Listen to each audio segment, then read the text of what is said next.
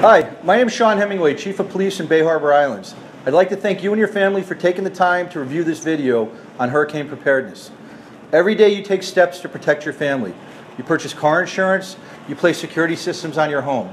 I ask that you take that same initiative by creating a hurricane plan to protect your family during a hurricane or other disaster. As you watch this video and hear from my staff, you'll receive tips on how to create your plan and make your homes and businesses safe for a hurricane. Again, I thank you for your time and I ask you, are you ready?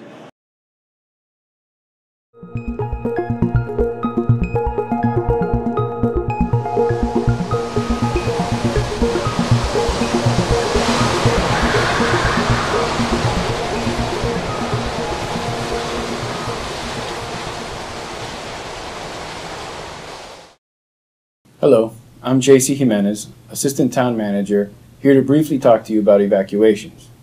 As you may or may not know, the town of Bay Harbor Islands is entirely located in an evacuation zone. This means that when the mayor of Miami-Dade County issues a hurricane evacuation order, you must be prepared to leave your home for an extended period of time until the order has been lifted and it is safe to return. Additionally, Miami-Dade County and the American Red Cross will open up hurricane evacuation shelters throughout the county. These shelters, however, should be considered as a last resort, as they are often uncomfortable and overcrowded. Pet friendly shelters will also be available, so please include your pets in your evacuation plan. If you or someone you know requires assistance in evacuating, Miami Dade County offers the Emergency Evacuation Assistance Program.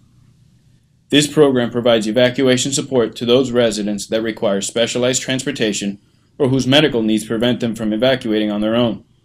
Residents interested in this program need to register directly with Miami-Dade County.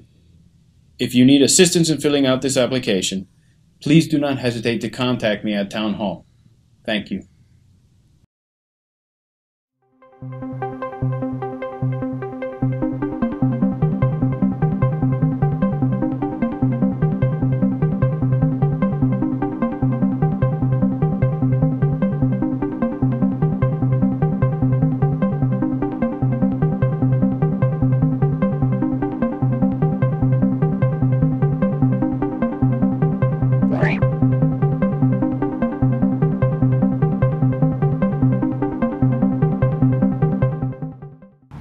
Many Bay Harbor Islands residents who live on the water also own boats. 36 hours prior to the arrival of the storm, you need to take the necessary precautions to move your vessel to safe harbor. If you have a boat that's large enough and requires a bridge lift of the broad causeway, this needs to be done as soon as possible. The U.S. Coast Guard will order the bridge locked down eight hours prior to the arrival of the storm or if the storm winds hit 40 miles per hour. At that time, the bridge will no longer be open to marine traffic. For more information to properly secure your vessel during a storm, check out the link below.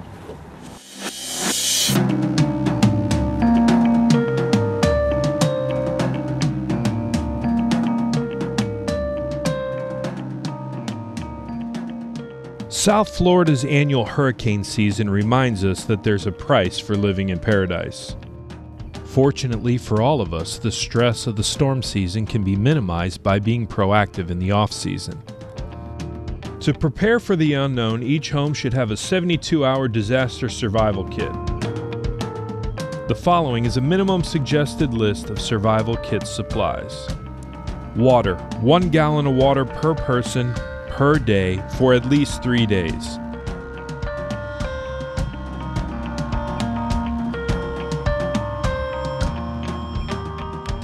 Food. At least a three day supply of non perishable foods.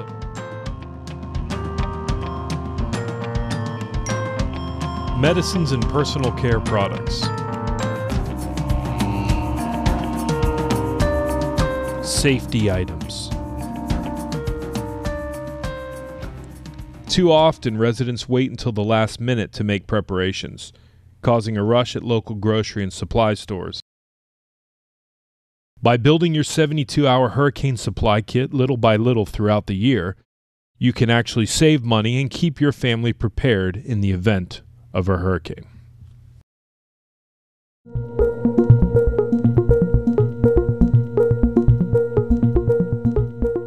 Miami-Dade Fire Rescue would like to remind the community that during the time of impact of a storm, or right after, MDFR's actions are concentrated on the well-being of people affected by the emergency, and at this stage, emphasis is centered on life-saving efforts. During such time as actual hurricane conditions exist, every attempt will be made to continue our primary mission of protecting lives and property. However, it should be remembered that MDFR personnel are subject to the same environmental limitations as are members of the public. Knowing what to do in the wake of a severe storm or disaster may be just as important to you and your family as taking proper precautions ahead of the storm.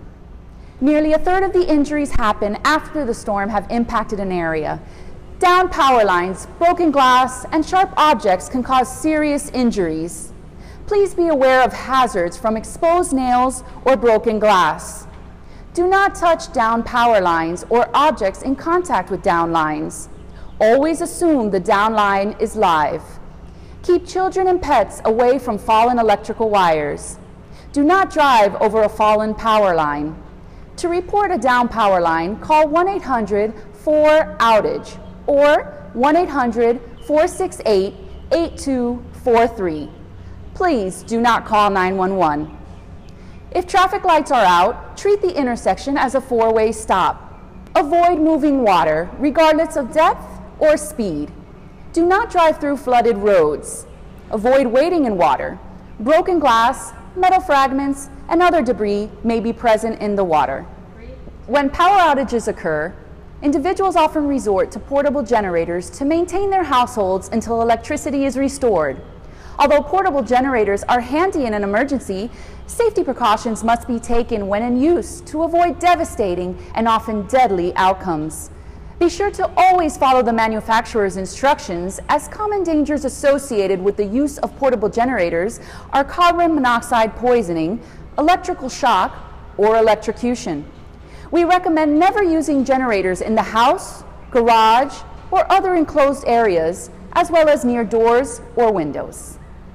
If you have any further questions, feel free to stop by our Miami-Dade Fire Rescue Station 76 here in Bay Harbor Islands. Miami-Dade Fire Rescue, we're always ready and proud to serve.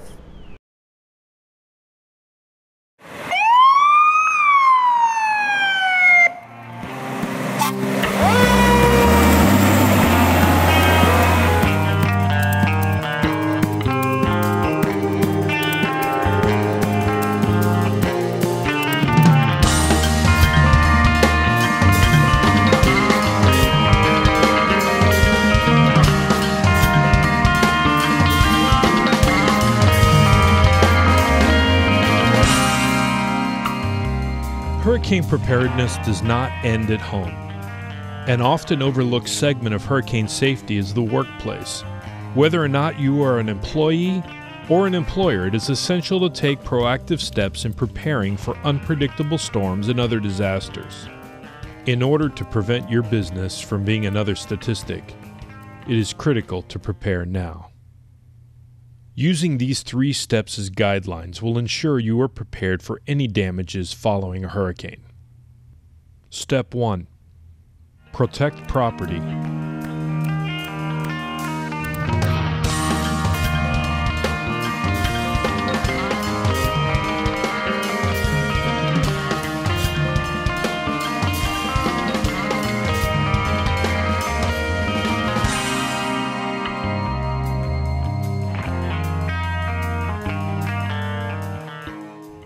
Step 2 Protect important documents and information.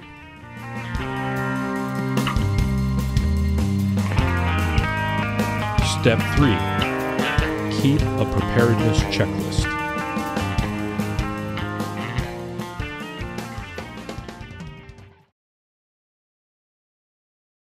Hi, my name is Ron Wasson, the town manager of Bay Harbor Islands.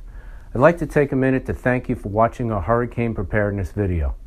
As you can tell by the police department, the fire department, and all the staff, being prepared for an event is key to surviving a hurricane event. If you need any assistance in preparing your hurricane plan, please contact us here at Town Hall and we'd be happy to assist you in any way possible. Please have a nice day.